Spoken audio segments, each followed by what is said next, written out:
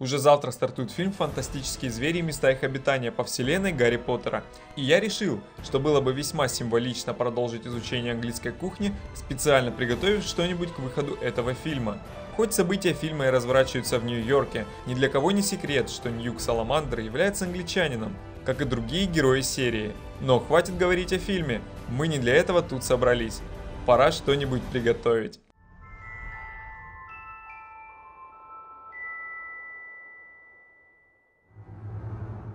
В Гарри Поттере часто упоминаются различные пудинги, но я хотел бы выделить среди них и приготовить именно йоркширский пудинг, который является традиционной частью британского воскресного обеда и несколько раз упоминается в книгах. И я даже встречал такую информацию, что этот пудинг по вкусу Гарри ничуть не меньше, чем торт с патокой.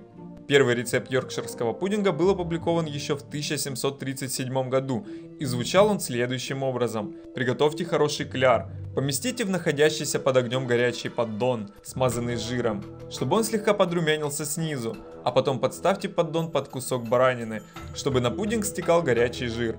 Время от времени поддон нужно часто встряхивать, чтобы пудинг получился легким и вкусным. Когда баранина будет готова, можно вынимать и пудинг, Переверните его на блюдо и подавайте горячим. А в 2008 году Королевское химическое общество постановило, что йоркширский пудинг не является йоркширским пудингом, если он ниже 4 дюймов, а это примерно 10 сантиметров. Так что придется постараться. Для приготовления пудинга нужно совсем немного ингредиентов. Это молоко, яйца и мука. Вся сложность сводится не к ним, а к самой готовке.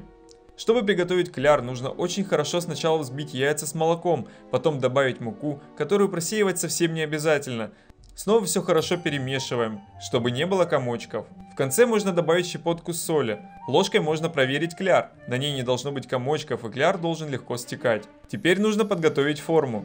В нее нужно налить подсолнечное масло, примерно по сантиметру в каждую формочку. Для этого можно налить масло доверху только в первые. А потом вот так наклонив, Масло равномерно разольется по всем формочкам.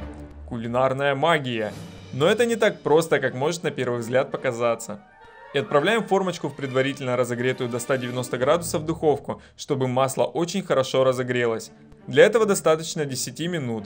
И теперь можно в каждую формочку налить кляр, который я перелил в мерный стакан с носиком, чтобы легче было его наливать. А чтобы не забрызгать тестом края формочек, можно использовать ложечку, иначе кляр может прилипнуть и не подняться как следует. Как видите, пока я разливаю, горячее масло уже начало готовить кляр. Возвращаем в духовку на 20-25 минут, пока они не поднимутся и не подрумянятся. По стечению которого у меня получились вот такие йоркширские пудинги. Так, проверяем. Получилось не совсем идеально, но главное ведь вкусно. Прекрасная вещь, можно есть с различными соусами, жареными мясными блюдами. Подавать можно традиционно с чем-то типа ростбифа. Или как я, вот с такими сосисками. Великолепное сочетание.